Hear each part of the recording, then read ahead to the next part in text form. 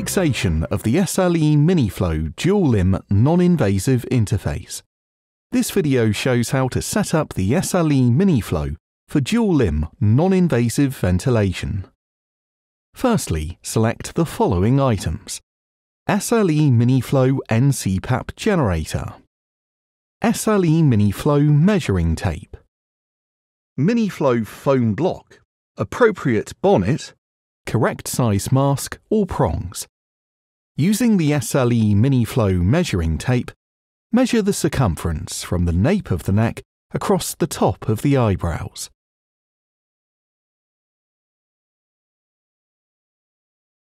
Select the colour of bonnet indicated and measure the prongs or mask size using the range on the tape. The selected prongs should be large enough to seal the whole nostril with the flared end of the prongs. The arched edge of the prongs should sit above the patient's lip when attached to the SLE MiniFlow NCPAP generator. Masks should be selected to fit precisely along the sides of the nostrils. When attached to the NCPAP generator, they should conform to the shape of the nose. The bonnet comes with a Velcro strap to hold the generator in place and two Velcro tapes to position the prongs or mask.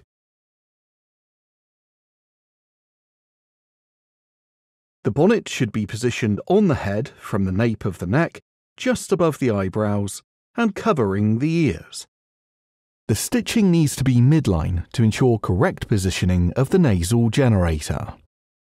The Velcro tabs on the bonnet should be an equal distance from the midline.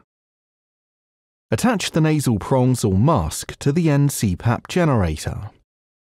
The generator has the option of a 60 degree angle, which is mainly used for masks, and a 45 degree angle, which is mainly used for prongs, to ensure a good fit.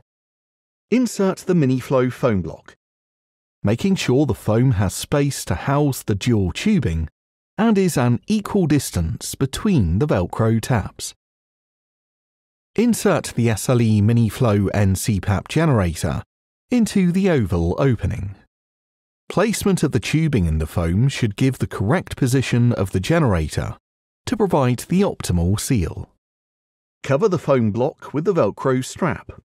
Insert the Velcro tapes in the slots on the mask or prongs and affix one end above the ear and one below. Gently rub the Velcro attachments onto the bonnet. There should not be any tension on these tapes. They are for positioning, not to secure a seal.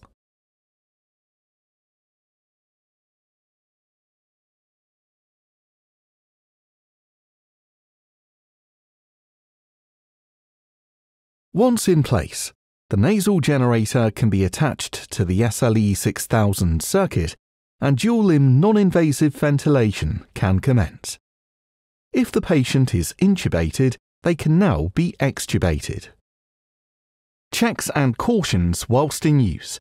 Important points to remember. Do not insert the prongs fully into the nostrils. Only the flared portion should be inside the nares. The curved line on the prongs indicates which way round they should be placed. The curved line is to be placed to mirror the top lip to prevent the connector block touching the nose. Regularly switching between prongs and masks is an effective method of avoiding or reducing damage to the patient's nose. Ensure the weight of the ventilator circuit does not pull directly on the patient's head or the interface. When undertaking tissue viability checks and observing the infant receiving NCPAP, please ensure the position of the bonnet is as intended. If the baby slides down the bed and the ventilator tubing is secure, the hat may slip up the forehead, increasing the risk of pressure damage to the nose. Do not pull the tapes too tight. The SLE MiniFlow NCPAP generator is held primarily in place using the bonnet and foam. If the leak is too large, check the position of the bonnet and the position of the generator in the foam. Also check the angle of the generator prongs or mask. If the problem persists, review the size of the prongs or mask. The inspiration and expiration tubes should slope away from the patient and the interface so that any condensation does not come into contact with the baby. If you need further information or guidance, please contact your local sales representative or consult the website.